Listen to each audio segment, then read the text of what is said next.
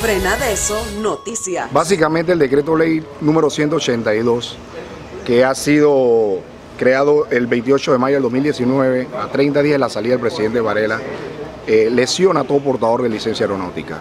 No solo a los pilotos, estamos hablando de pilotos, despachadores, mecánicos y auxiliares de vuelo.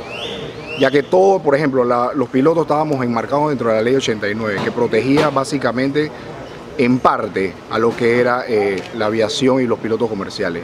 Porque para que una empresa pudiera contratar el 15% de extranjeros tenía que hacer una inversión de un millón de dólares y crear una escuela que capacitara panameños.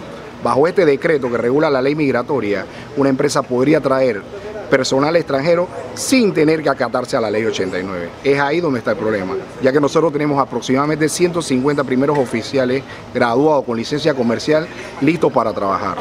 Entonces, ¿qué pasa? Como no tienen el personal idóneo y capacitado para volar 737 o a una aeronave de mayor peso y dimensión, ellos pretenden traer personal extranjero para ocupar esa posición. Queremos hacer también de conocimiento público que hay una nueva aerolínea que se está creando dentro del aeropuerto de Panamá Pacífico, donde la audiencia pública va a ser el 5 de junio y creemos que esta, este decreto ley va básicamente enfocado hacia allá. Frena de eso, noticias.